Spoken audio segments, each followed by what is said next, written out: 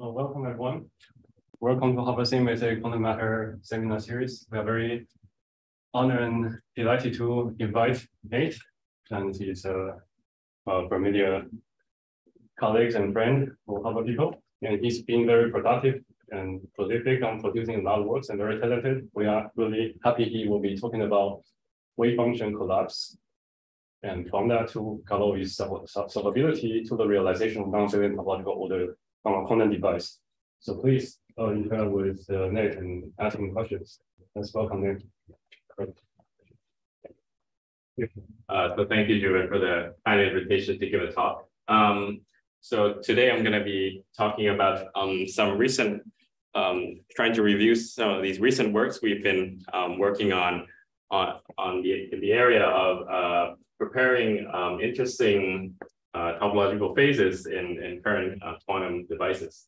So let me just uh, set the background by telling you uh, what uh, we're going to, what I'm interested in. So what are we interested in? Well, uh, I'm going to talk, be talking about today about topological phases of matter. And um, these phases have a rich history starting from the 80s since the fractional quantum Hall effect was discovered. But since then, by now theorists have already postulated a, a wide range of um, phases of matter that could potentially exist in nature that usually that goes beyond um, um, our usual understanding of uh, uh, symmetry breaking or such.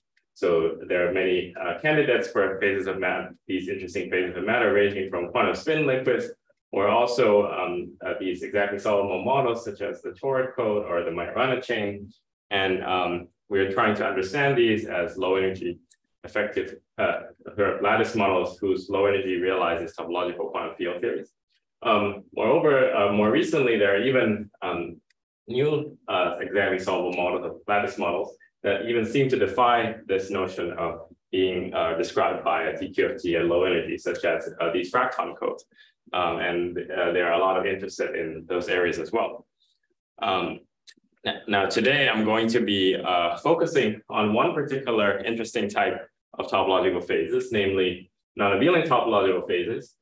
And what are these? These are topological phases that host point particles whose statistics are non-abelian. So what does it mean by non-abelian statistics? Well, if I have two particles in two plus one dimensions in space, I can perform, I can take two particles, braid one around the other, and I can accumulate a phase factor associated with it. And if you looked in space-time, you would form some sort of interesting link like this. Um, what non-abelian statistics, on the other hand, is that instead of having a phase here, you can have um, your, your uh, two-dimensional particle or anyon can have an internal degeneracy. So you have a Hilbert space of dimension larger than one. And by braiding, you can even apply a general unitary operator in this internal Hilbert space. So interesting that can happen is that, for example, if you perform the similar braiding, create a particle, antiparticle, braid one around the other and try to fuse them back together, you will find that they might not fuse back to the vacuum, and instead you might get some interesting particle popping out um, out of the fusion pulse. So that's one interesting thing for non-abelian topological phases, uh, uh, this uh, internal unitary and um, this uh, interesting fusion rule. So why do we want to realize non-abelian phases? Well, uh, bullet point zero is, is it's cool bullet point one is that in the future, in the long run, we might envision um, uh, using these uh, non-abelian particles as a route to realizing universal fault tolerant uh, quantum computation. And the idea is if you have these particles and you can sort of braid them around each other to perform uh, uh, quantum gates, and these quantum gates are robust in the sense that um, since if you separate them far enough, any noise will not interact with your encoded uh, state. And so it gives some a certain robustness. But of course, this is a very distant goal. Um, the a more near-term goal is that we can think to uh, what phases have we discovered since the fractional quantum Hall effect in the 80s, and so far in experiments, in, in, especially in solid state systems, it has uh, mostly been these uh, fractional quantum Hall effects, which has abelian anyons, but so far it has been really hard to find states or have evidence that uh, shows that we really prepared a solid state system with non-abelian anyons. even more surprising is that uh, there are certain non-chiral phases, such as the toric code, which we have not even this, uh, have good ev evidence for in a solid state system.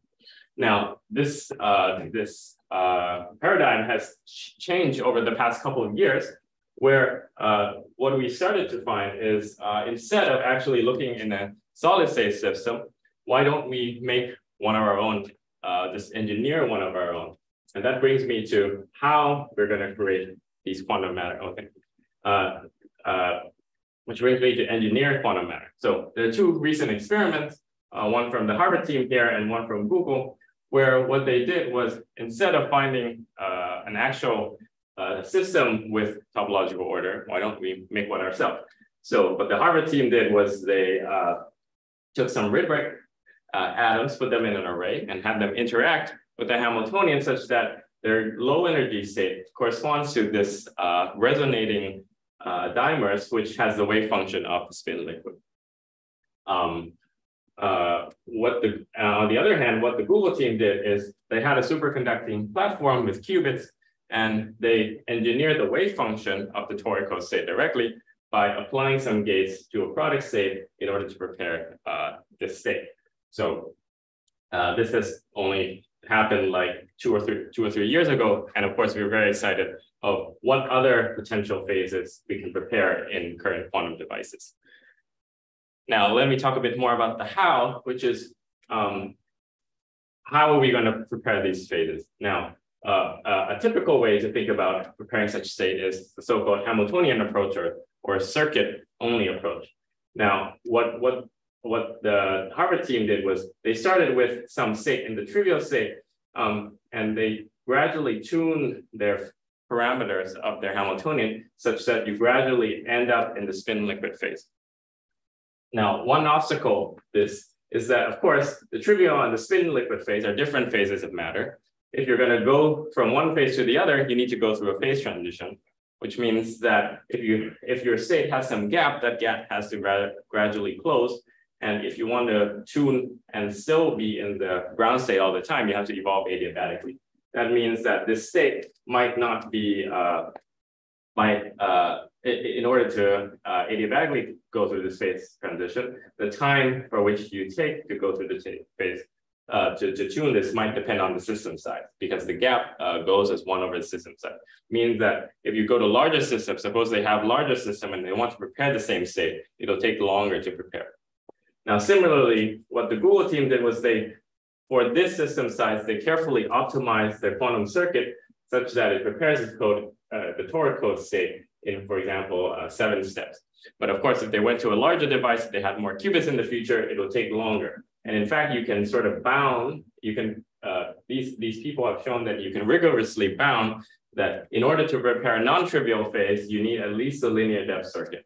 And on the Hamiltonian side is also similarly that the time uh, has to be proportional to the system side. But of course, everything here is unitary. So that raises the question, can we cheat a little bit? Can we, for example, use something like wave function collapse or measurement to scalably, scalably prepare topological phases of matter? And of course, this is not uh, a new subject. Um, using measurement to repair interesting phases such as the toric code in theoretically has been studied since uh, perhaps almost 20 years ago. Um, but of course, what I'm going to talk about today is how we explore this idea.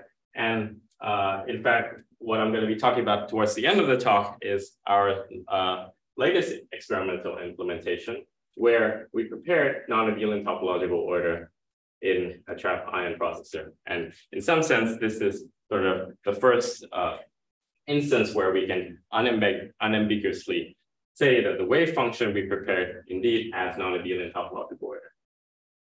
Okay, so uh, I just wanted to make uh, a quick comment about what uh, other experiments that has led have led up to this uh, experiment that we did, and um, it, it it's worth noting the uh, the difference between something called defects versus anyons, and there's also a distinction between abelian and non-abelian, so I made, I made a table here. So of course, if you talk about abelian defects, what might be very familiar to you is uh, a dislocation. So, so suppose you have a lattice and you remove one of the rows, right? you're going to have a dislocation defect, which is what this cell that looks a bit larger than everyone else. But um, you notice that the whole row was removed in order to prepare this defect. And it's abelian in the sense that um, you can sort of take two of them and, and fuse them together in some sense that if you take something with one row missing, fuse it with another with one row missing, you get something with two rows missing. So in that sense, it's abelian fusion. Um, if you come to anyons, the difference between defects and anyons is that defect is a one-dimensional thing with something interest, possibly interesting at its endpoint. Anyons are a string, have a string, but that string is invisible and only the, the endpoints are interesting. So for example, the fractional quantum Hall effect or these experiments I talked about, which prepared the toric code have abelian anyons. This does not mean that the toric code cannot have interesting non-abelian defects. For example, recently, uh, last year, the Google team showed that you can even create interesting non-abelian defects in the toric code with experiments. So if you introduce some dislocation into the toric code, for example, you can realize some defect which also permutes uh, anyons, which make them interesting as a non-abelian defect. And they even showed how to move them around in the lattice and perform fusion. So you can you can get non-abelian statistics for uh, defects. Um, but what we're showing today is uh, a little bit different in which we prepare non-abelian topological order and uh, the, this uh, gives us non-abelian anyons and non-abelian anyons are particles uh, rather than one-dimensional lines but and non-abelian anyons can only exist in a non-abelian topological order. So if you've seen some non-abelian anyons, that uh, gives you uh, pretty good evidence that the thing you prepared has non-abelian topological order. Okay, so the outline for my talk today is um, I'm going to review some theory work which led up, um, which, which built up from previous work studying how measurement can be used to prepare topological states of the toric code. Um, I'm going to rephrase what people have known in uh, a sort of new language. And this goes under the name gauging by measurement. So we found that we can re repurpose or re rethink of the way people have been using uh, measurements to prepare say, as actually secretly gauging a symmetry. And once we realize that, that opens up an interesting way to think about topological phases, which people usually don't think about before, which is usually we think of all topological phases be equally hard to prepare. They all require some linear depth circuit or linear time evolution to prepare because they're in different phases.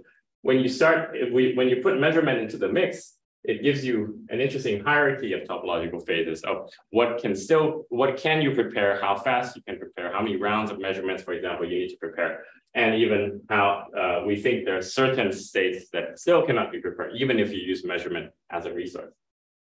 And lastly, I'm going to be talking about the experiment where we realized this uh, non-abelian topological phase for the first time. Okay. Um, so let me just. Question. Yeah. Okay. Uh, one, one slide earlier.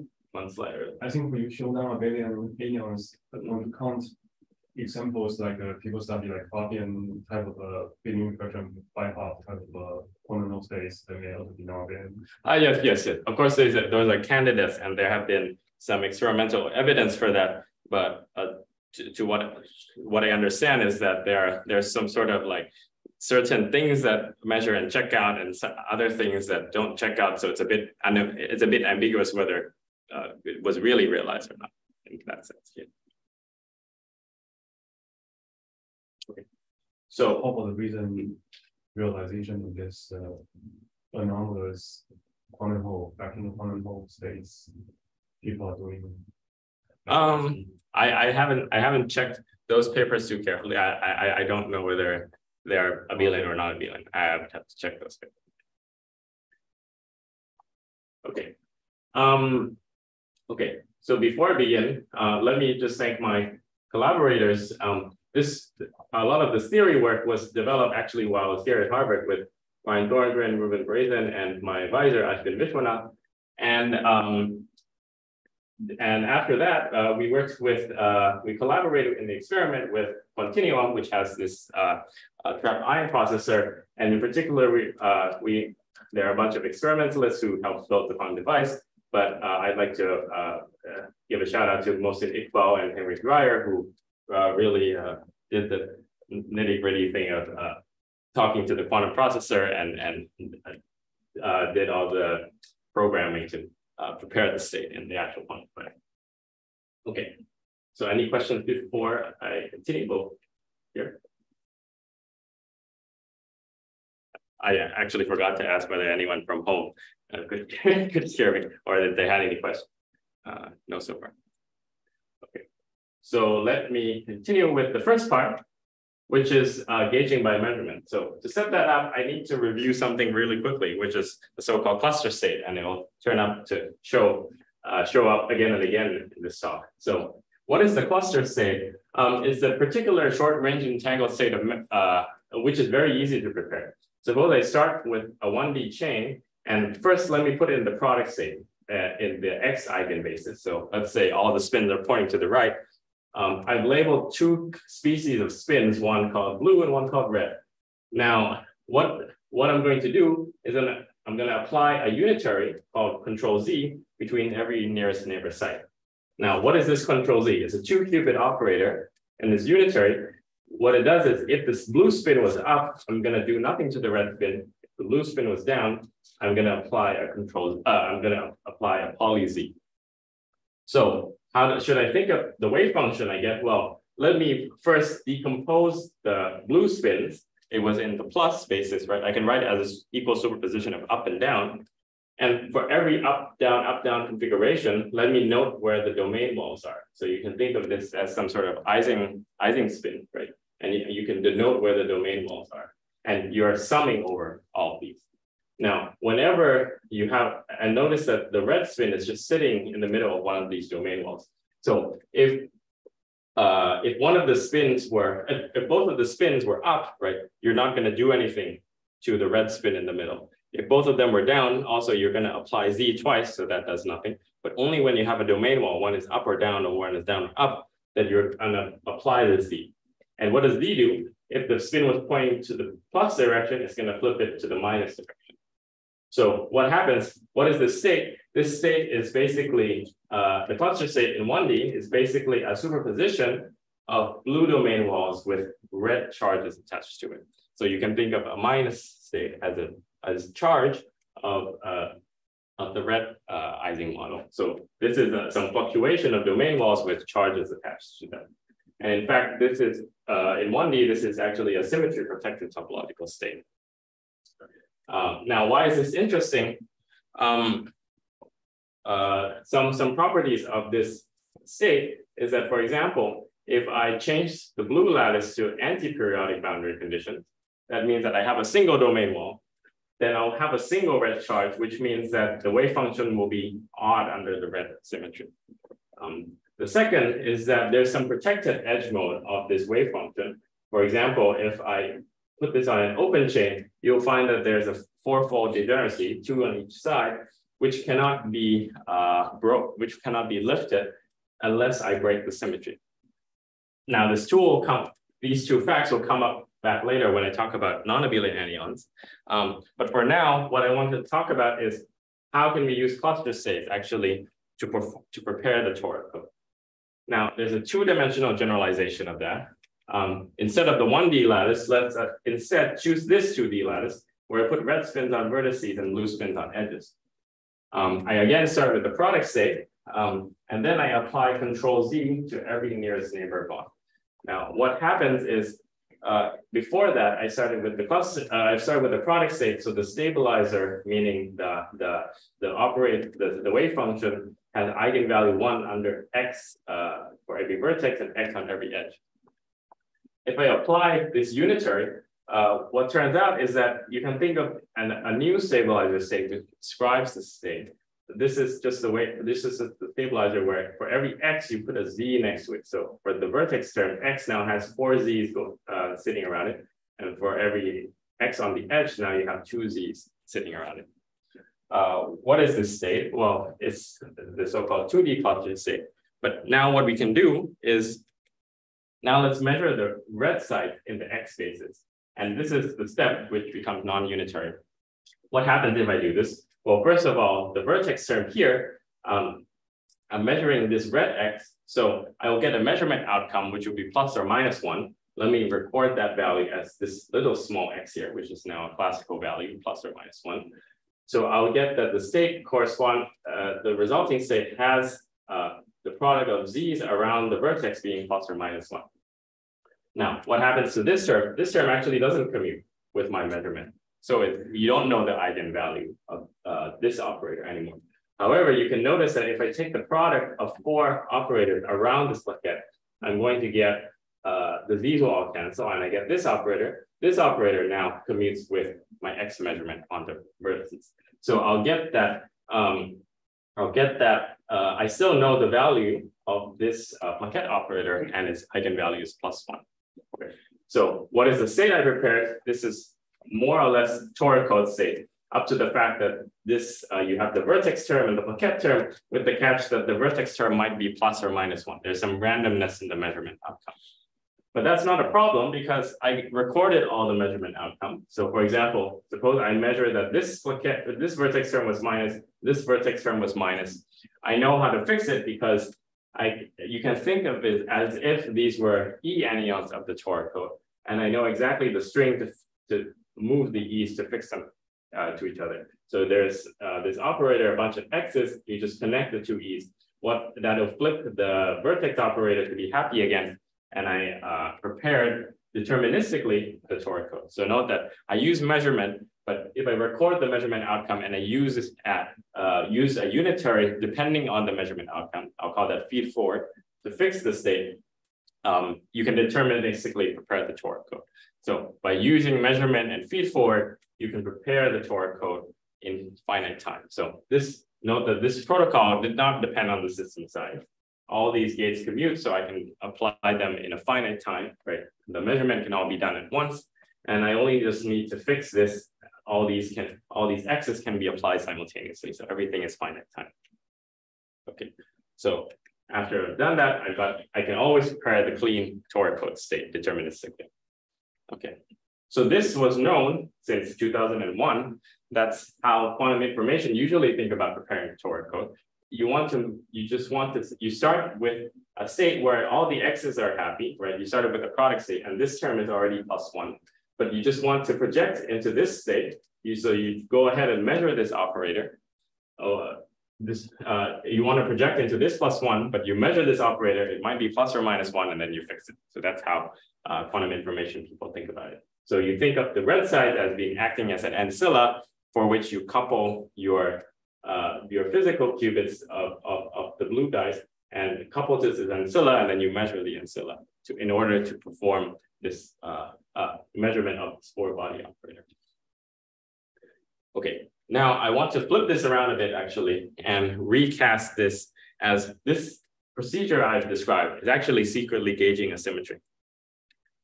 So uh, flipping gears a bit, uh, what do we think, what do we usually think of when we think of gauging? What is gauging? Um, gauging is just projecting in, suppose you have some gauge theory, gauging corresponds to projecting into some gauge invariant subspace. So for example, if you have some Gauss law, um, you want to project it to the subspace where there are no charges. For example, the divergence of the electric field is zero. Um, uh, here, I'm doing a mod 2 version of that. And my electric field is basically the Pauli z's coming out of each edge. So you can think of the divergence of E as being just the product of z's uh, coming out of each vertex.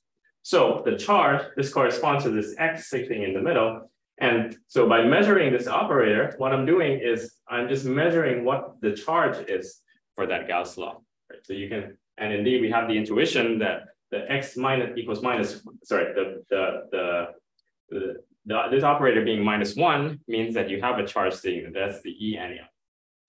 So if we perform the measurement and we get the charge to be non-zero, then the operator I use to fix that is basically the Wilson loop the gauge theory. Okay. So by performing this procedure, uh, we can project into the gauge invariant subspace uh, up to a measurement outcome, which might be random, but we always know how to fix it.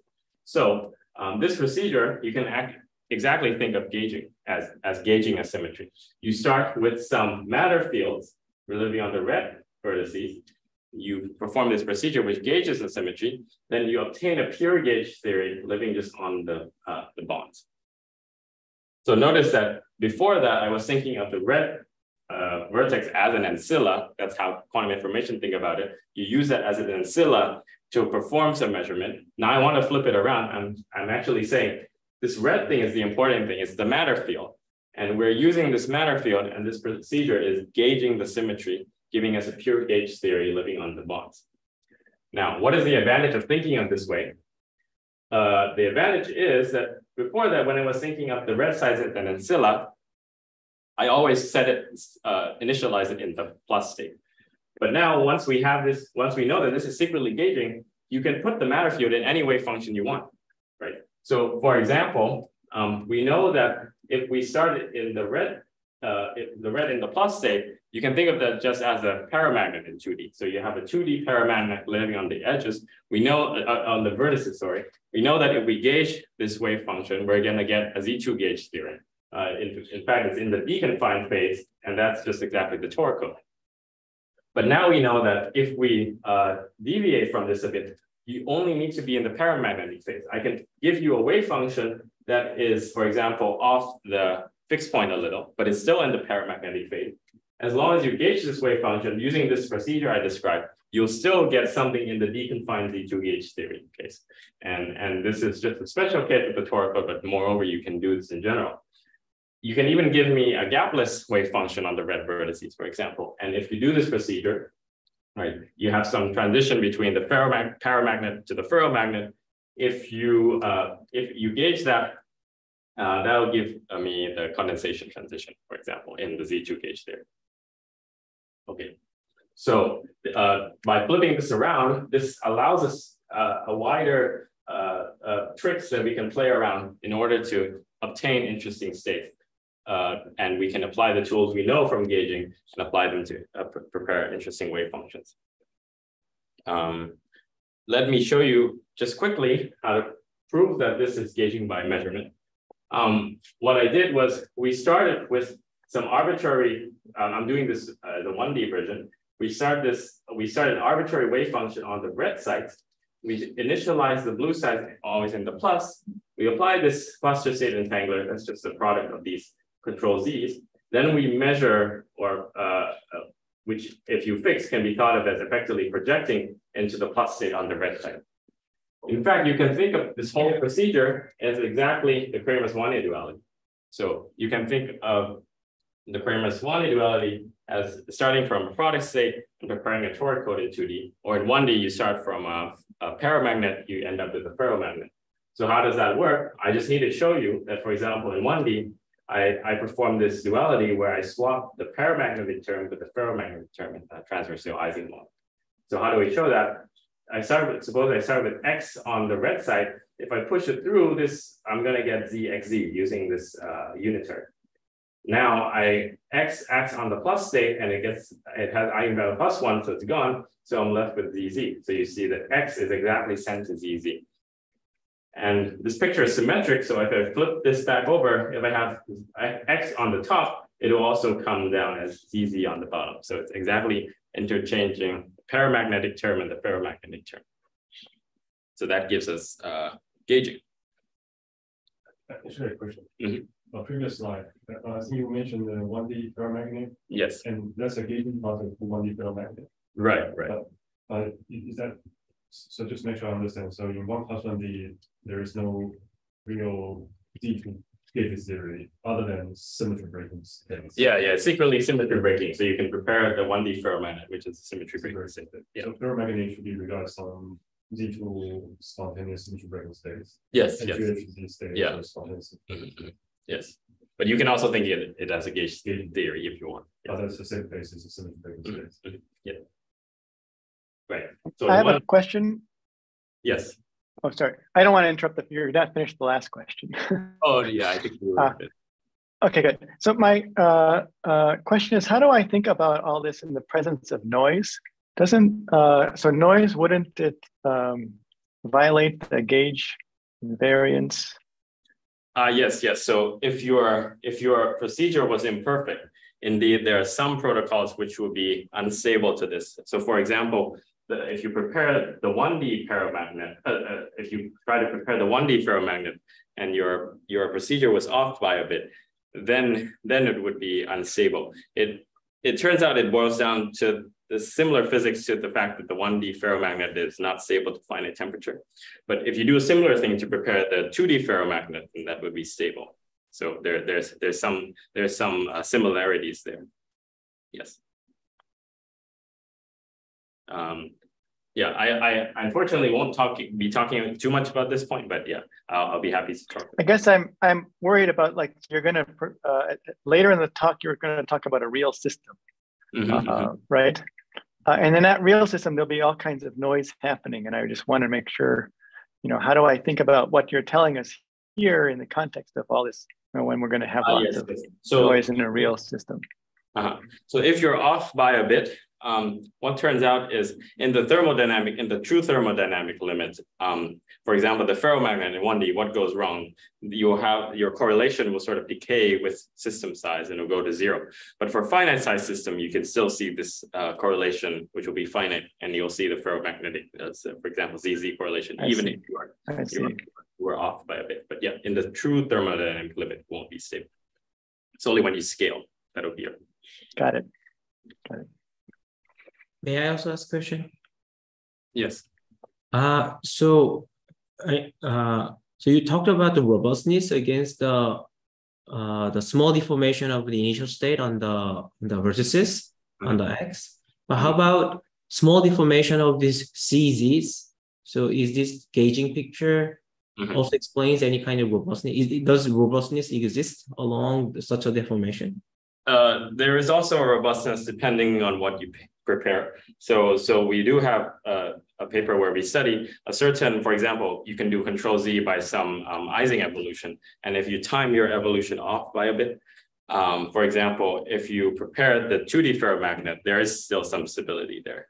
As long as you sort of, sort of preserve Ising symmetry, for example, there, there, there, there are certain, yeah, there are certain, uh, there are certain uh, uh, deviations which will, directions which will still be stable. But not all deformation, but just certain deformations. Uh, right, right. Not not not all deformations will be stable. Yes, Thank but you. finite size system, you will still see that. Uh, uh, you'll still see some. You will still see some long range correlation in the state you prepare.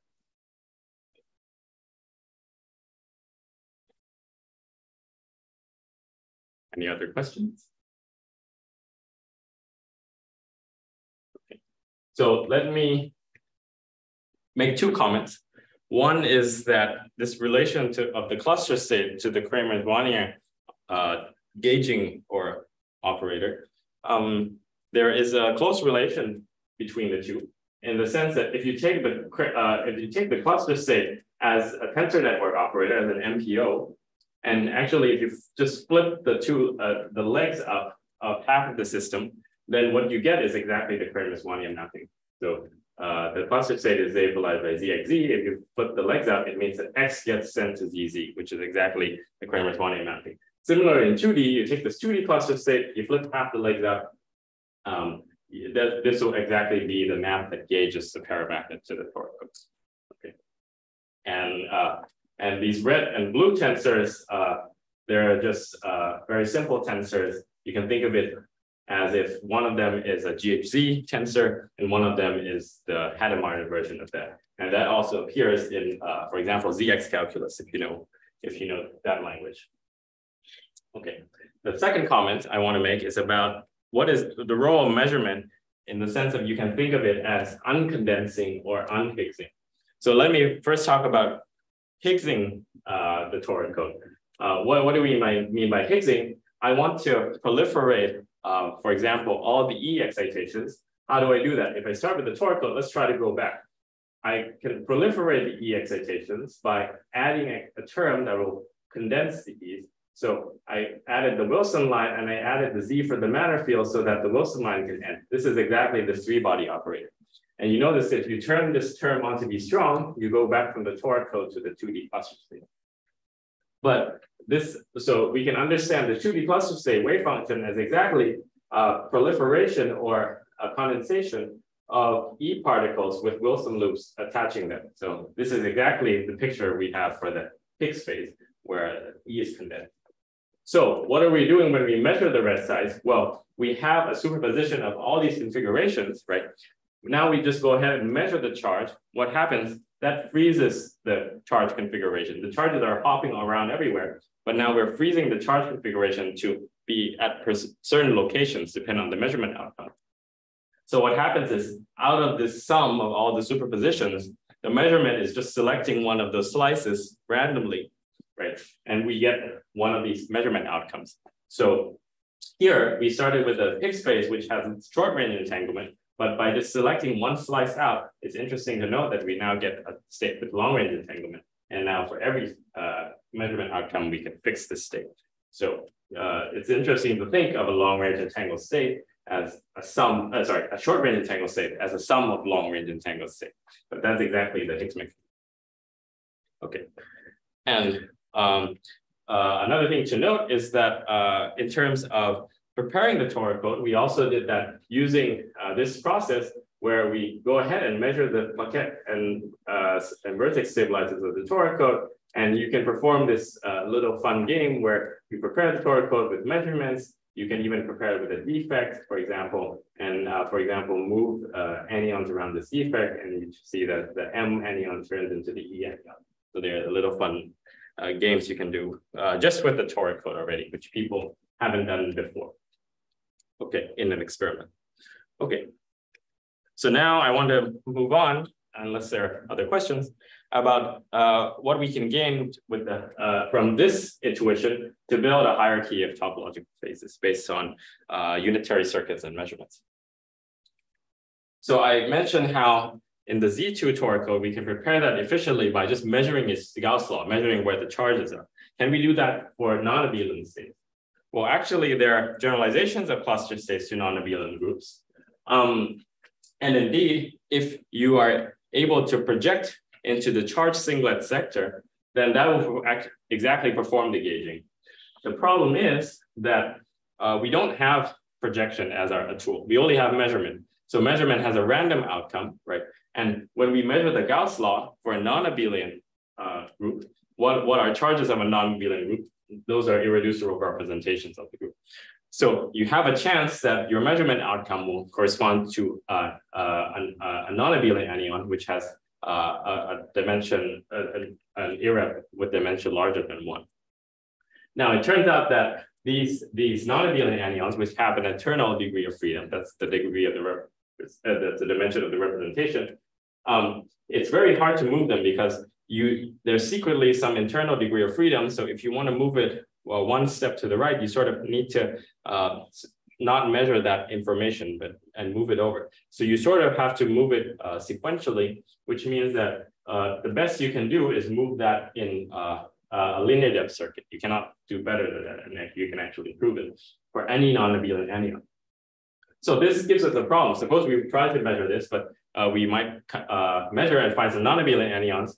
The, the, the price to pair them up is the same linear depth as you would have done with the unitary process to create uh, a non-abelian state. So what is the advantage here? Right. So, so we need to find some way to get around this. And the trick is if we can, we have a non-abelian uh, group, uh, the solution is as long as you can break it up into simpler components, all which are abelian, then you can still use this trick to prepare non-abelian states. So let me give an example of the simplest state, non-abelian state to prepare. The, that's the group S3. So S3 is the permutation of three objects, but you can also think of it as a symmetry of the triangle. So there are two symmetries, a Z3 symmetry, which is the rotation, and a Z2, which is the reflection of the triangle. So how do we prepare this? Well, uh, what I'm going to do is I'm going to first gauge the Z3 symmetry, followed by gauging a Z2 symmetry to prepare this S3 group. So what do we do? We start with some, for example, two-level system, which is a qubit, three-level system, which is a qubit. You first gauge the bottom layer to prepare Z3 toric code. But now, if you immediately gauge the top layer, then they'll not talk to each other. You'll just get a Z2 toric code times a Z3 toric code. That's still abelian the, what makes this non-abelian is that the Z2 acts on the Z3, right? If you rotate and reflect, that's like rotating the other way. So you need to make the, the, the Z2 act correctly on the Z3. And you can do that with a finite depth circuit. Uh, I, have just written this uh, schematically, but roughly what it's doing is that for your qutrit with three states, you keep the zero state invariant and you swap the one and two state. That's this operator. And you sort of have some control gate to perform this uh, conjugation in your qutrit. Once you apply this circuit, now they're coupled. And if you go ahead and uh, gauge the Z2 symmetry, it turns out you'll get exactly S3 topological order. Yes. Yeah, isn't that like uh really like depend on that this S3 or before they are like they can have this similar product structure. Oh, oh, uh-huh. S5 Yes, yes, yes. That's what I'm exactly going to get at. There, there are certain groups where you cannot use the string. Yeah, yeah. But for those you can, um, you can decompose it into abelian groups, and then you can do the string. Yes. So, so for example, for S3, this is what you would do. If you didn't have this unitary in the middle, you would just get Z2 times Z3, which is still abelian. So this unitary uh, is important.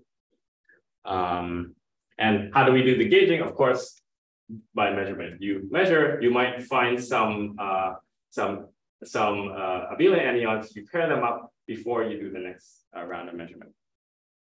So um, you can generalize this uh, similarly to, for example, let's do the next uh, uh, harder example. So for a general group extension, uh, my claim is that you can always break it down into a, let's say, and let's say, and let's say the normal subgroup and the quotient subgroup are both abelian. Um, uh, you can just gauge the normal subgroup first, apply some unitary, which will depend on the data of the group extension, um, and then gauge the quotient group. And this unitary, actually, you can think of it exactly as a symmetry, uh, uh, a unitary that prepares the symmetry enriched topological state. So you can think of it as the unitary that takes you from the usual toric code the, to the one that is enriched by this quotient symmetry Q. And this unitary will depend on the type of loop extension you use. And the claim is that uh, uh, you cannot do this uh, by measuring, but you can break it up into abelian parts, each of which can be uh, performed by measurement. Okay. Now, the most general construction then would be uh, what are the non-abelian groups that we can break down into abelian groups? Mathematicians know that answer. That's exactly what people call solvable groups. Um, so uh, a, a, quick uh, way to think of a solvable group is if you want to know it's, it's whether it's solvable or not, take that group G, compute its commutator subgroup and the commutator of that, and you keep going. And if you reach the trivial group, um, that group is solvable, turns out. And if you have this sequence, um, that gives you a way to build it back up. So you sort of start from the trivial state, you gauge N1 to prepare, for example, N1 toric code, you apply some unitary to entangle, you gauge the difference or the quotient of, for example, N2 over N1 to get N2, and you build your way all, all the way up back to G. So, and the number of rounds you have to measure corresponds to the so-called derived length of LG. How many times you have to do this commutator subgroup?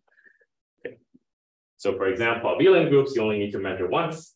Meta-abelian groups, the ones that I talked about in the previous slides, the S3 or the dihedral group, need two rounds. Okay. Now, of course, uh, uh, some of you are already already know what I'm going to talk about next. Are they states we think we cannot prepare using measurements? And that ties to some very interesting mathematics and uh, related to things that are non-solvable. And so um, this gentleman Galois has told us that um, uh, a basketball, a basket, playing basketball is easy, playing volleyball is easy, but soccer is really hard. So what that means is um, the symmetries of the basketball and the volleyball are solvable groups, but the symmetry of the soccer ball turns out to be this uh, S5 group, and that is not solvable. So if you want to prepare a gauge theory with the symmetry of a soccer ball, uh, we think you still can't do it with a finite depth circuits and measurements. So, um, so we put this as a conjecture because we do, we do have a physicist proof that you cannot do this, but it's still not rigorous in mathematical grounds yet. So we, we think it's true, but it still needs to be proved rigorously. So oh, why, why does why does the symmetry of the soccer ball matter? You might be familiar with another separate fact that if you have a, a quintic polynomial, a polynomial of degree five or larger, then there, there's no uh, there's no solution in terms of radicals. And, and the reason that follows from this is be related to the fact that the, the roots of the polynomials may have this large symmetry and you cannot break it down into simpler groups. And that's why you cannot write it iteratively in terms of deep radicals. So it's interesting that uh, this mathematics relating to the quintic polynomial somehow tells us something about uh, preparing topological states. Yes. Symmetry for basketball uh, no, it might not be off the top of my head now. I think this is S4, but I, or A4, but I have to check. Uh, yeah. how do you know? Sorry. How, how do you know? Oh, oh, oh, one one way I know it's solvable is um, anything any group smaller than A5 or order less than 60 is solvable. So, and, and this this thing looks simpler than the soccer ball, so it should be solvable. so for S5, uh, the best condition we can like get is like this extensive uh dash circuit for the Riemann bridge.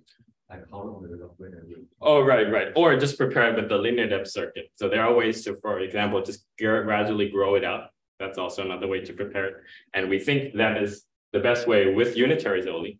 Um, with measurements, turns out there's a, recent paper by Tim Hsieh which showed that um, you can actually prepare it with log L, so it's a bit better. but we don't know whether that's an optimal bound or not for these non-solvable things. So uh, let me talk about uh, further restricting a condition, and I want to talk about measurement as a scarce resource. So for example, let's say I want to minimize the number of rounds of measurements that we have to do to prepare the state. And you may ask, oh, why do we care about this question? Well, it, it surprisingly has both uh, theoretical and, and sort of experimental uh, importance. On the experimental side, well, experimentalist tells us that this measuring something in the middle of the circuit and feed forward, that's a very expensive thing. And it might take longer, uh, might take much longer time than applying a deep unitary itself. So if we want to uh, use measurement circuits, we should use them uh, a, a, a, few num a few round, at least round of them as possible. Okay, um, but for the theoretical side, that's also interesting because uh, I, I, said previously that topological phases are all hard to prepare unitary. They all require linear depth. But if we ask how many rounds it takes to prepare uh, a topological phase with measurement, how many rounds of measurement you need, it might grade them into a hierarchy of which states are simpler than others.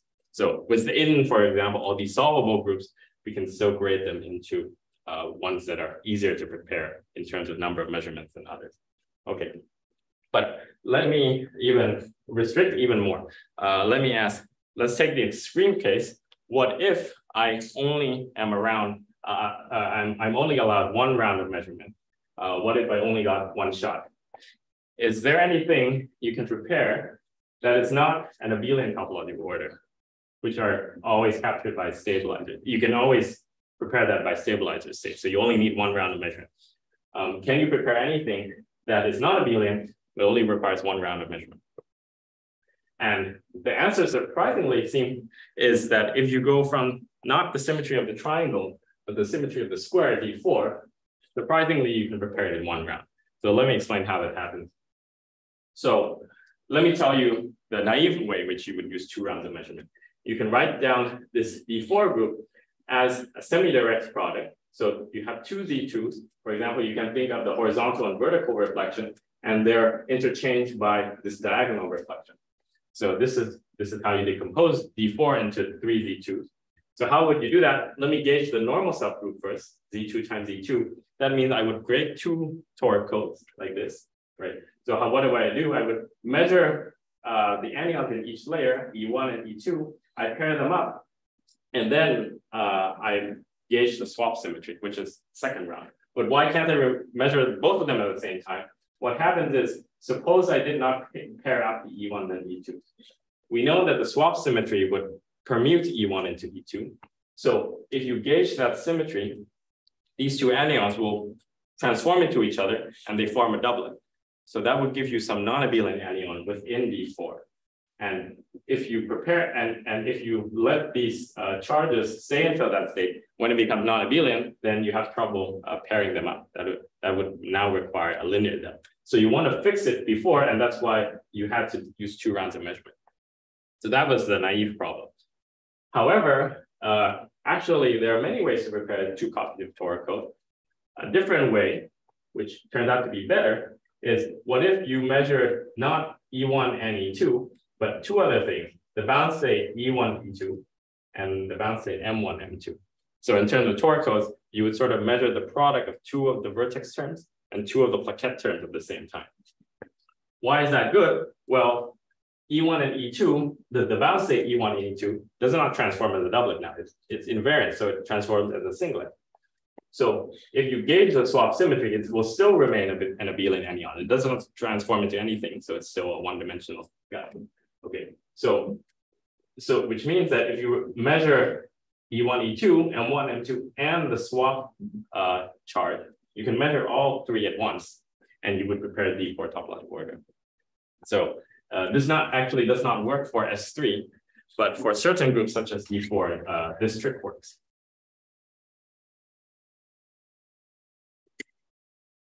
So what states can we prepare in one shot? Um, that turns out to be non-abelian phases that admit a Lagrangian subgroup. What is a Lagrangian subgroup? Uh, that's a group of abelian bosons which have mutual braiding and they're closed under fusion. So as long as I can find uh, my if I can group in my anyon group my anyons uh, and find enough abelian bosons such that when I condense them, it confines every other anion. Then that gives me a short range entangled phase which turns out to be a symmetry protected topological phase protected by this group A actually. So in order to reverse this, I just need to prepare a symmetry protected topological phase protected by A and then gauge that asymmetry. So it turns out that what I was doing in the previous slide, if you rethink of this M as secretly some other charge, or some other group, then there are three Z2s, and then I can gauge a Z2 cube SPT to also prepare this D4 a topological order. Okay, and this allows us to prepare D4 in one shot by sort of rethinking what we normally think of as fluxes as, as secretly charges. If we uh, use that uh, picture, then that insight allows us to one shot. Okay, so what I've shown, I'm gonna wrap up the theory part now, but I just wanted to conclude that I've shown that we prepare toric code in one shot. Surprisingly, D4 can also be prepared in one shot. S3 we think needs two rounds, and this gives us a hierarchy of things you can prepare, but how many rounds you need to use to prepare them. And of course, there are these uh, non, uh, uh, non-solvable groups, um, such as A5 or S5, which we think cannot be, uh, cannot be prepared in uh, finite time, even using measurements. So this gives, the red box gives you a large, a new equivalence class, sort of as if they're like phases of matter if you include measurement as a resource. And the notion of solvability actually extends beyond groups. You can even go to more general categories such as Fibonacci anions. And Fibonacci anions also have the property that they're not, not solvable. Okay. And there's an interesting connection. It seems, it seems that in the literature, people talk about these non-solvable ones as universal for quantum commutation by braiding alone. And moreover, it seems that there are certain uh, there are certain phases which are also universal if you include measurement as a resource. But to the best of our knowledge, it seems that all of these require two rounds of measurement.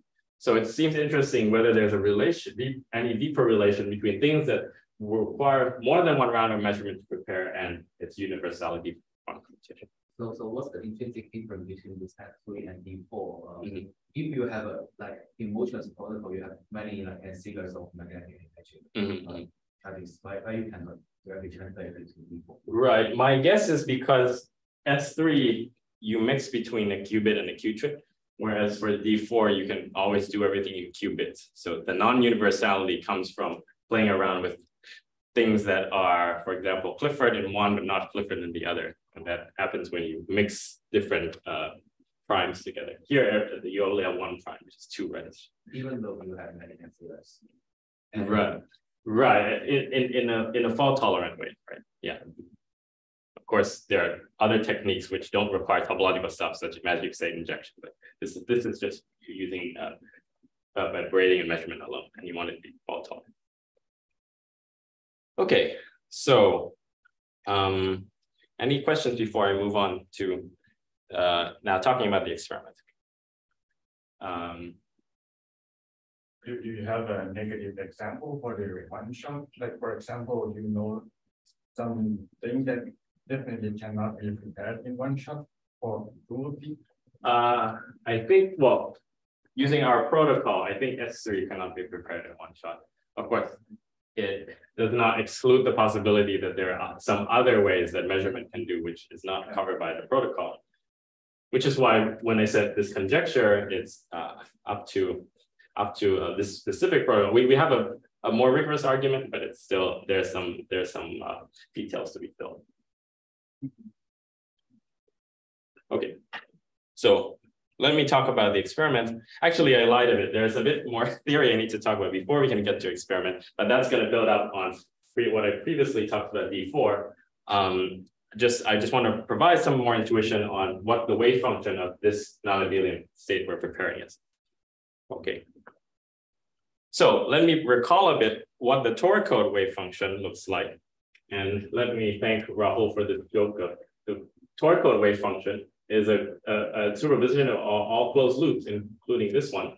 And we have uh, a bunch of uh, local rules, which allows us to deform, for example, the, the, the strings you can deform freely in the wave function of the Tor to be go between different snapshots. And of course, if you open up these uh, the loops, these are abelian anyons. Now, the state I want to prepare, this D4 topological order, I, I mentioned that you can think of it as uh, three sort of three Z2s, but they're coupled in an intricate way. So imagine you have three colors now. So you have three different fluctuating loops, but with a very simple modification. When the three loops intersect and one crosses over the other, you get a minus sign. And similarly, for example, if the green and blue are crossing and you create a red circle, this will, the wave function also differs by a minus sign. So they're not all plus. And it turns out that this simple modification will actually give you non-abelian anyons. Um, let me explain first that what, how, how easy it is to add this minus sign.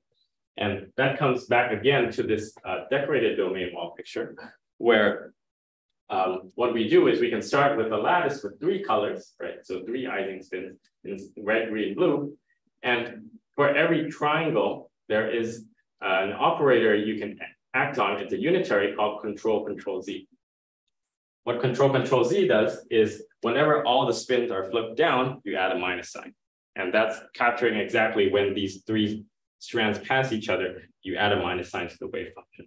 But let me give you a bit more intuition. And it's related to the cluster state I, I talked about at the beginning of the talk.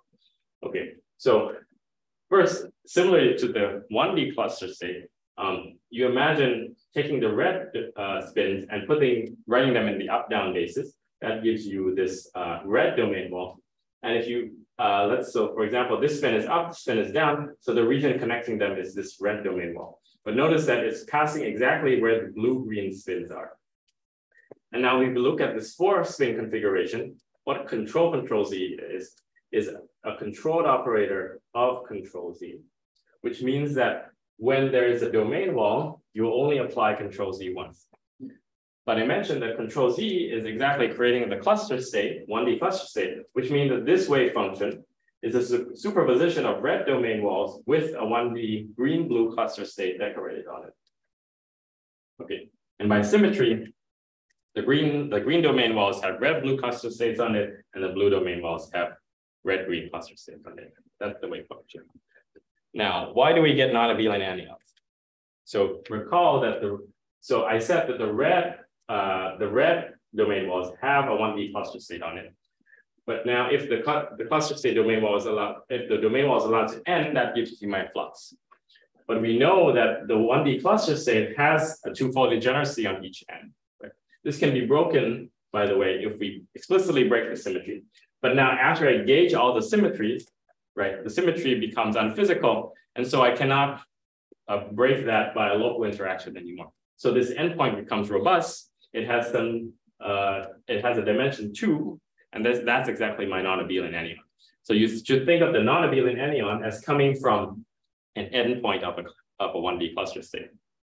And the same for the green lines ending and the blue lines ending. So the only difference from the toric code is that the flux now becomes a non-abelian particle. Okay, so uh, so the, the, the conclusion is uh, gauging this particular Z2 cube SPT with these three colors uh, with this minus sign add, simple minus sign add, added in will actually make non-abelian anyons. Um, and if you're, uh, in case you speak the language of twisted quantum doubles, this is just uh, saying the fact that uh, the double of uh, D4 is equivalent to uh, the double of D2 cube with a certain uh, three cycle. Okay, so now I'm ready to talk about the experiment. And I want to just mention this trap ion processor that we use. So uh, what is this trap ion processor? Is Quantinuum's H2 trap ion processor, and they have this racetrack configuration where they are able to hold up to 32 qubits with uh, all-to-all -all connectivity. Um, and you can see that, for example, their single qubit fidelity uh, is like 10 to minus of order 10 to minus 5, and their two qubit fidelity is 10 to infidelity is 10 to the minus 3. So very good, uh, very good fidelities for this, the state. And the all-to-all connectivity comes from the fact that they can shuttle these ions around this racetrack and uh, they can put two into some interaction zone, shine some lasers on it, such that you perform these two qubit gates. And they're well separated from, from the rest of the from the rest of the atoms. So there's uh, also a little crosstalk, for example. Okay, so um, the model that we prepared, um, so out of the 32 qubits, we have a final state consisting of 27 qubits. And what we did is uh, we put them on this, uh, we interact them. So all the action interactions are local and we put them such that they're on this effective geometry, which is a torus. So we put 27 qubits on the effective torus. You can think of it as a Kagome lattice with three sides per unit cell and on a three by three grid. And for each unit cell, you can color it red, green, blue, as I've done here. So um, to explain what the state I'm preparing is, it's easier to explain what is the mutual eigens, uh, eigen, eigen uh, vector of. So it's a mutual eigenstate of these operators. These operators actually don't commute, but the state I prepare nevertheless is the mutual plus one eigenstate of all these operators. So there's some 12 body operators with X and control Z and some three body operator of uh, Z. Now it's very similar to the toric code in the sense that suppose you just ignore control Z, what control Z looks like for now, just ignore that ring in the middle. Um, and only look at the green qubits, then you can see that it, it secretly looks like a toric code. For example, the green, the star term, right, looks like a vertex term of the green toric code. And then this one looks like a plaquette term of the toric code. But there are three of them, and they're sort of coupled intricately with this control Z. And that control Z is just taking care of that minus sign I added to the wave function that I mentioned earlier. Okay, so as I mentioned, it's very similar to three toric codes. So the some of the excitations you can label E and M like the toric code. So E will be uh, charges and they are exactly the same. Um, a closed loop of that will be, uh, or the Wilson loop is just product of Z. And so closed loop creates this guy. But the non-abelian fluxes are now M, they become, the M's are now non-abelian, and you would create them with a string of product of X and product of control Z. I'm not going to go into the details of what they actually look like, but you can, for example, put them around the torus, or if you made a closed loop, that'll create exactly this operator, for example. So how do we prepare the state? Well, we can start with that uh, triangular lattice I mentioned, um, use some unitary circuit, which adds some phase that to add that minus one sign at the appropriate places to prepare the SPT. Then we do this process of gauging. So gauging consists of applying control Z and then doing this projection, which is in itself obtained by measurement and feed forward. And if you go through that for starting with the triangular lattice I mentioned, going through all that steps, prepare exactly uh, the, the geometry I outlined, which is the Kagome lattice. Okay, and so after we prepare that state, what can we measure? Well, let's measure all these uh, quote unquote stabilizers, right? The, the operators, star terms and the, the, the triangle terms. And we find that, so we expect these in the ideal case to be plus one, right? And we find that they're all, most of them are all in the 90s range. So very good uh, uh, values for the expectation values. We also measure the logical operators, which corresponds to tunneling is E around the torus, and they're also high. And this allows us to bound the fidelity of the state per site to be 98.4%. So a very high fidelity of, of state we prepare. Okay. So uh, I've shown that how to prepare uh, non-abelian. Yes. Right. It's basically from these information, from the uh, values of the plaquette or uh, the, the readout of these operators, uh, you can use that to bound how far you are from the ideal state. So just the these deviation, you you crunch the numbers and this that gives you this final number. But, but you achieve high fidelity because what do you what do you do? What's the trick? Oh well, of course the the the the the trap ion is good, right? They have very uh the their their two qubit gates, for example, have 10 to the minus three. Of course, the circuit takes a bit to build it up, and the measurement, of, right? So, but all those together uh, reflects in this final value. Okay, so I've shown that we prepare. Yes, the only trap ions. This will be the high the data can be that high, but if you do other. No, no, no. I mean, as long as long as the quantum device has good good parameters, right? Um, we only the, the the reason we use this was because they they had, for, for example, um, all-to-all connectivity, which helps us with certain experiments. I'm going to talk about how we need non-local interaction to do a certain to do the braiding experiment, for example. And for example, they also helped us to use to put it on a torus, right? If you have a fixed planar geometry, you would have to care about the boundaries. But with all-to-all connectivity, you can just put it on effective torus, and you don't need to worry about the, the boundaries yeah, so that, that was one advantage of using a trap ion. Okay. Um, uh, can we so, come back? Sorry, I have another question. Can we can we come back to that? Uh, so what, what we discussed earlier on in the talk about the ferromagnetic phase and stability, and have a certain mm-hmm. range of uh, you know you'll you'll start to see the uh, it'll break down before the system size. So mm -hmm. can you can you uh, uh, discuss that range in the context of this uh, of this situation? So, so, um, so in terms of stability, it is it is true that um, it is true that for any 2D phase, for example, 2D toric code or any 2D topological order, it will not be robust to finite temperature. So if your protocol deviates by a bit, it will also be unstable. But nevertheless, uh, this is not what we did in the current experiment, but in the future, you might uh, envision um, instead of uh, measuring one round, doing multiple rounds of measurement and performing feed forward to do error correction. So if you do error okay, correction, yeah, sure. then you can still um, do something interesting with it. For example, people use the 2D toric code, which of course, when you prepare it, it has is sort of the state itself is unstable. But if you do the measurement repeated multiple enough of times and correct it, you can still get fault tolerance, for example. Um, yeah, I guess I was just hoping like this fidelity being so high, does that lead, you know, can I think of that physically as being close to stable in some, you know, uh-huh. in some way? Um, I mean, the right. So the fidelity being high, that's an, of course a nice thing, but of course it does not say it does not ref- it does not tell you about whether it's stable or not. For example, you might be close you might be close to the actual state, but you're on some sort of relevant perturbation that'll take you away from the fixed point state. Right. So so it does not really tell you about the stability. It's just reflecting. This is just one number, so it does not tell everything, but it's just nice to see that it's a high number. Okay. Any other questions? from the audience? Okay, so of course we prepared this very nice say. We show that it's close to the ideal. Um, are there any other things we can use to confirm that we actually prepared a non-abelian state?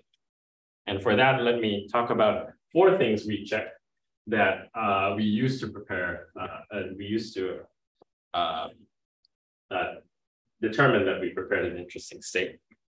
Uh, so first of all, um, it turns out that on a torus, this D4 topological order has 22 ground states.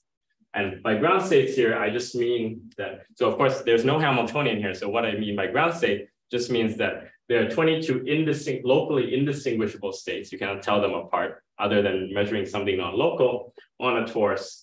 And that just means that there are 22 states where all the stars and triangle terms are plus one. So uh, it turns out that um, uh, there are these 22 states where you can tunnel different fluxes around the torus. And uh, I've shown you all 22 here uh, for different colors. You can measure all that, uh, the stabilizers after you've done this tunneling. So we can do this tunneling with the string operator I mentioned, right? And you measure out the uh, expectation values, and this is just the average. I'm just reporting the average value for the star and operators, for example, and these are all still high values. So we prepared all these 22 ground state.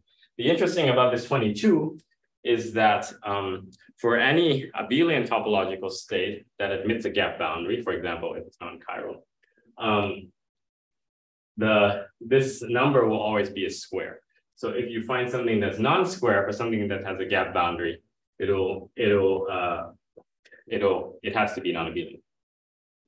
The second one is well, I mentioned that this is very similar to uh, three copies of the toric code. So you would naively expect that on the toric there are 64 ground states, but I only mentioned 22. So what happens to the rest?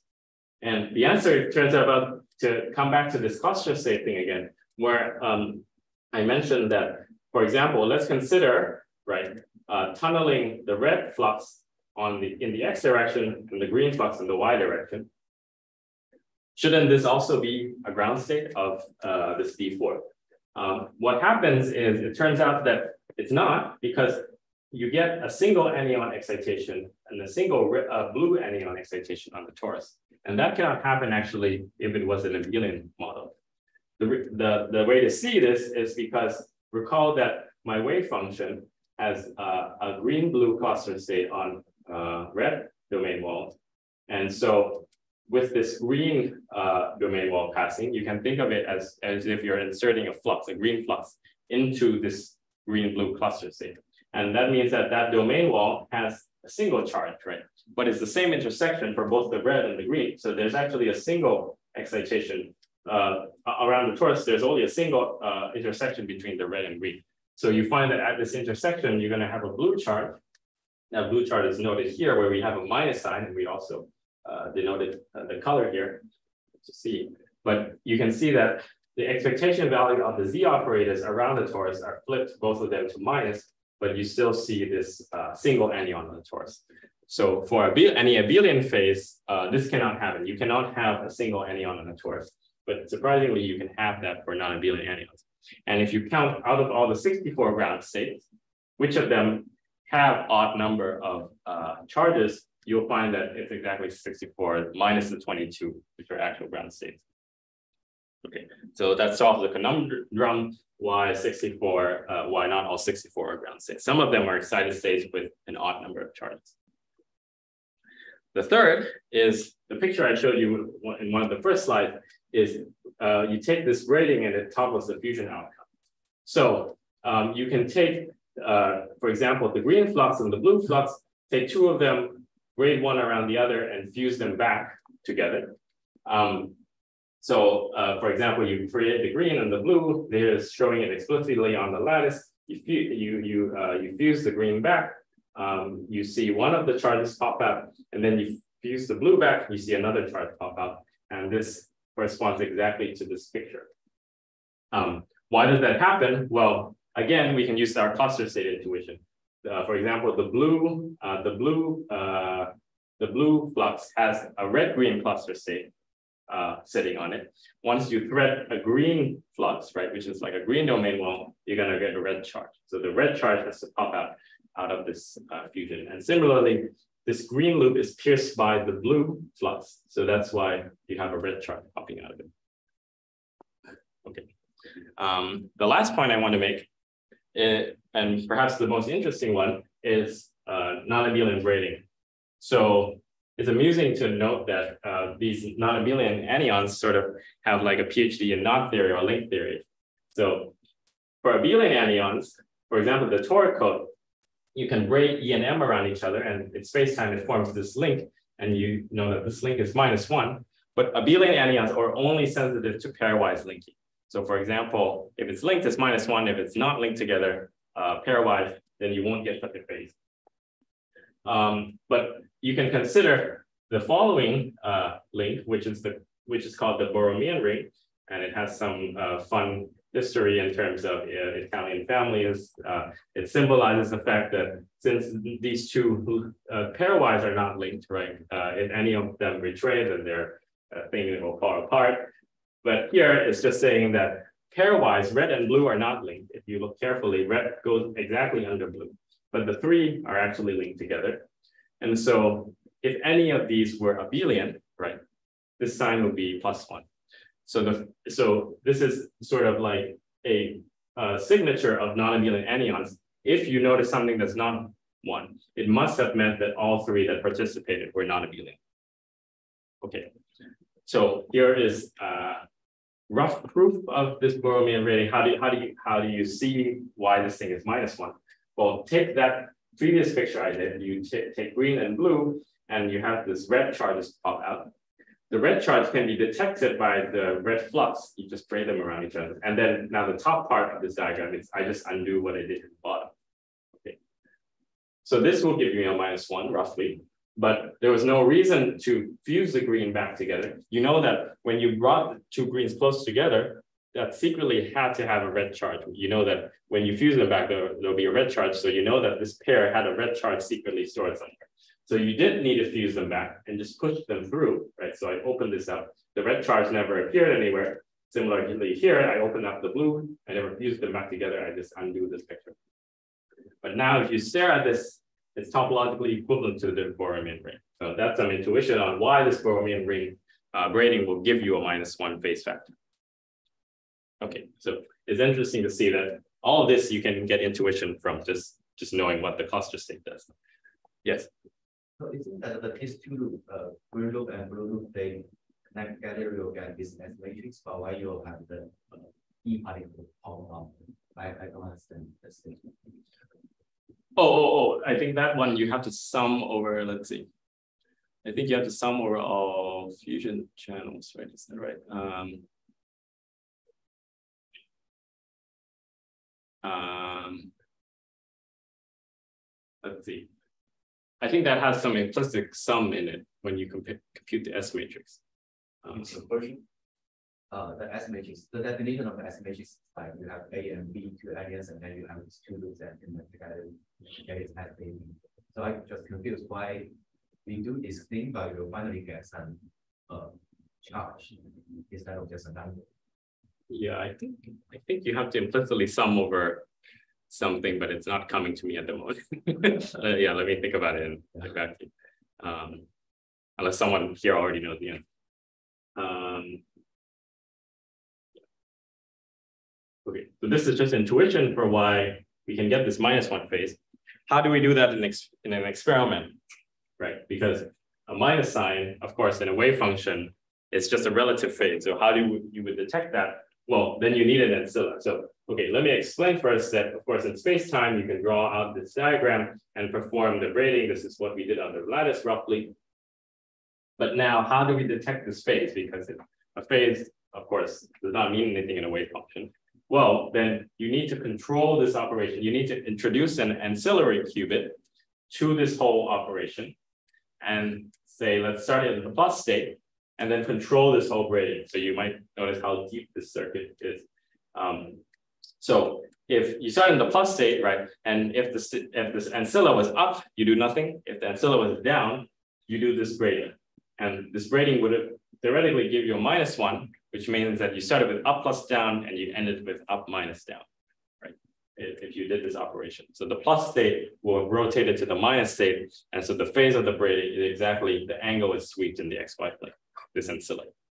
So in order to do that, um, this is going all over the lattice. So, and this ancilla has to sit somewhere.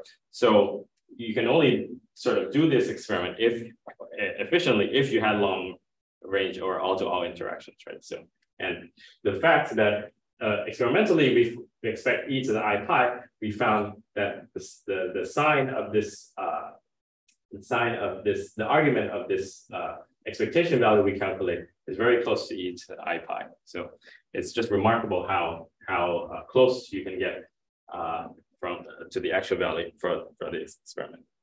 I still didn't get it, but you because I don't Would you ask? Um, maybe, maybe let me just, I have just two more slides and then, and then, and then so that we could just uh, end it because I think I'm running almost over time. Okay, so other fun facts I didn't weren't able to talk about today, but was still interesting, is um, in the very first paper we showed that um, in general we expect that measuring SPT phases um, should give rise to long range entangled states. And the argument we use there is related to some anomaly that excludes a featureless state. For example, you can think of the toric code as having a mutual anomaly between the E anyon and the M anyon. And you can sort of argue using that fact that uh, if you had such an anomaly in the final state, it must be um, long range entangled.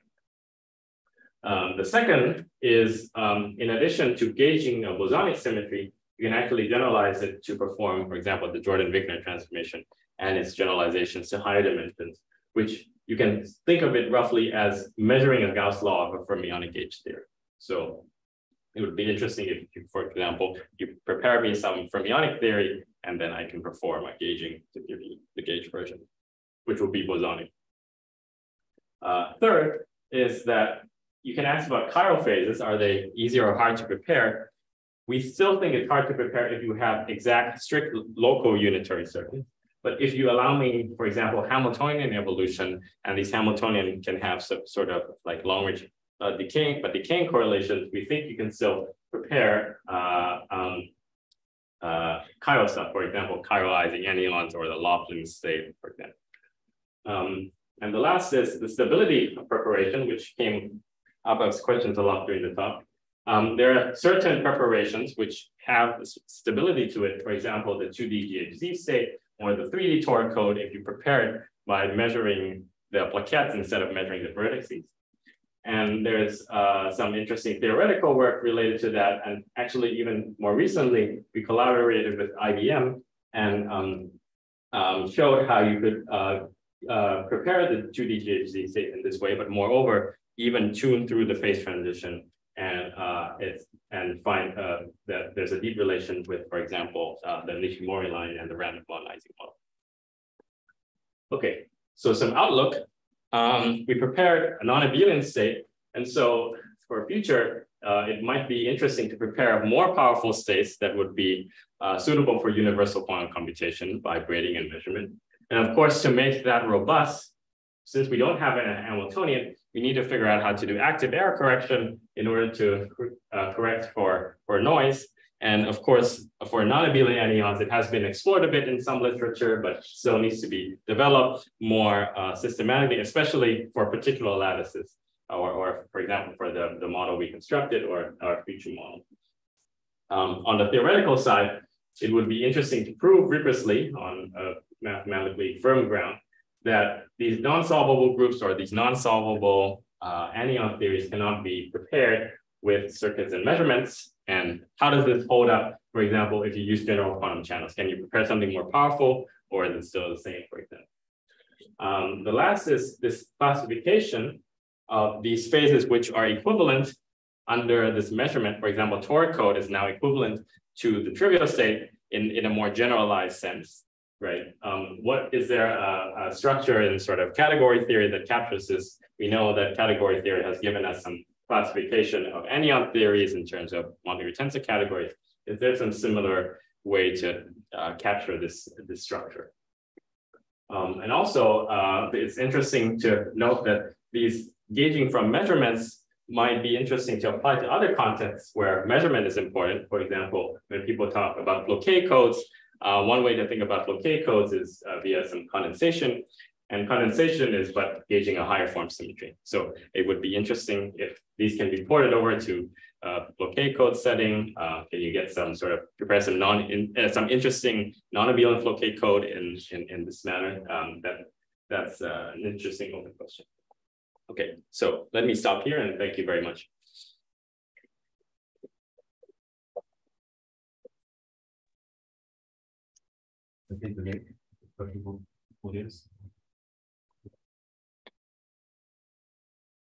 I have a question. Ah, yes. Um, so is uh, I was just thinking about this uh, all-to-all connections, and we've mm-hmm. been talking about topology the whole talk. Uh -huh. And I and I uh, uh, I was curious: is there any any advantage to a topological code if you have all-to-all connections? Yes, yes, that's that's a great question, and I get asked this often. So it turns I'm out, sure. So uh, even for the toric code, actually, uh, even with long range interactions, you still need a linear depth to prepare it. And an easy way to see it is if you started from the product state, um, the final toric code state has a logical operator that goes all the way around the torus. So the only way to uh-huh. prepare uh -huh. it is still using a linear depth circuit and didn't matter whether you had all-to-all -all interactions or not. Uh, so it's still, it's, it's still, uh, you still need a linear depth circuit um, to prepare, even if you have long range interactions. So it'll still be in the sense as as states will still be has some stability to long range interaction. And and how about like the distance of the code? Like if you have all to all connections, does that? Mm -hmm. The distance of the code. Um, I do not remember off the top of my head, unfortunately. I assume it's still the same, but I, I'm, I'm not sure. I should check that. Yeah, I guess I just I worry that the the whole notion of topology when you have these all to all connections, not really not oh, very helpful actually. I think, I think it, yeah, there are some papers that show the robustness. Or for example, even if you're on a sphere where there are not even any logicals, but you and you say, let's have a toric code on a sphere. What's the depth of the circuit to compare it? And there are some papers by uh, Aharonov, for example, that show that you still need I guess linear or it reduces to something uh, still still it's still not finite. Um, I don't remember the exact scaling, but it's still not finite. Might be with some law correction, but yeah, I don't remember exactly.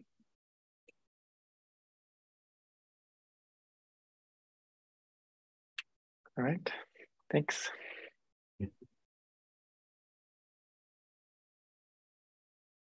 Thank you. Any other comments, questions?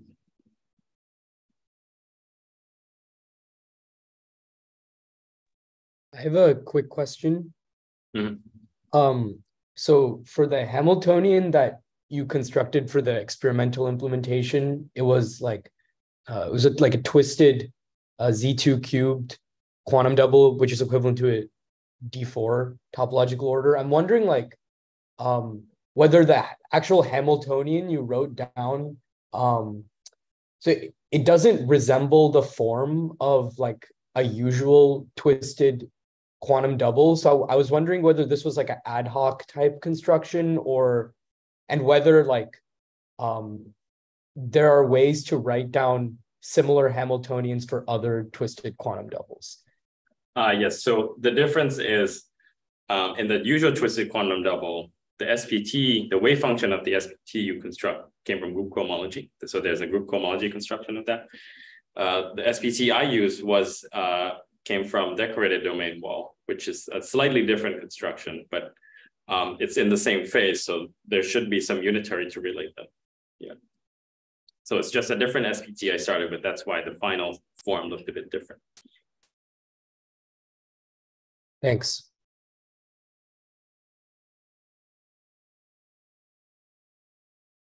Yeah, yeah, yeah. yeah. Joy in, Um, let's see. What I meant was like in because now the NN is SAB, maybe by definition is something like uh, that. This is A anyon, this is B anyon, and they just sort of each other. But over D, B is the dimension, story of the current dimension. And but in next talk, we will have something like this charge going out of this. I just don't understand why we don't have this kind of charges. and where two different angles. But typically this should be a number.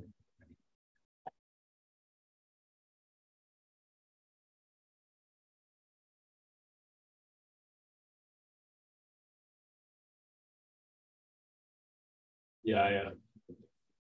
I'm wondering if there's some sort of projection or some sum involved, but I, yeah, I don't remember off the top of my head at the moment. Yeah. Maybe we can like also discuss later.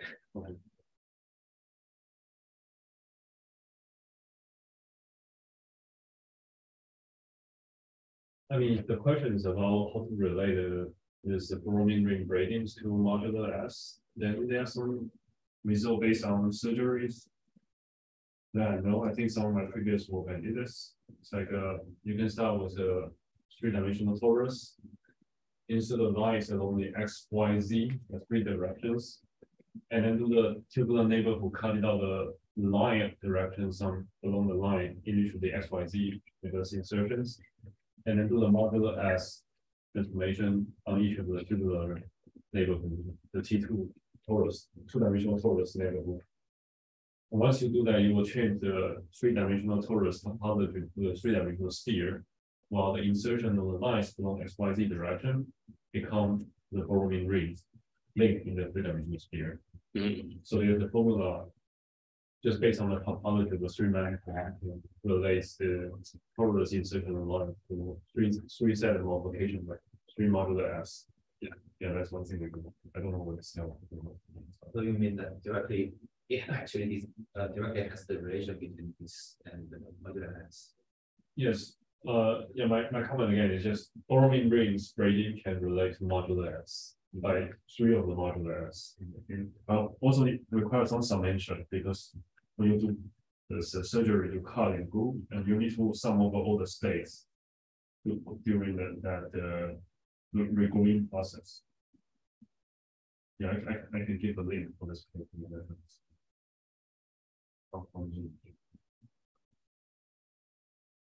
Are there any other questions? Yes. From the audience, any in the chat? Or...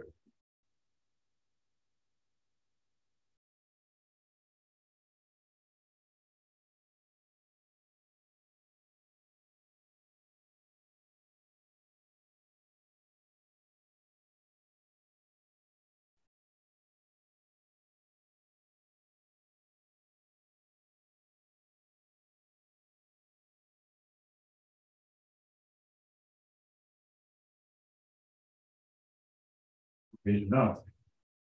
I think we should sing that again. Thank you very much.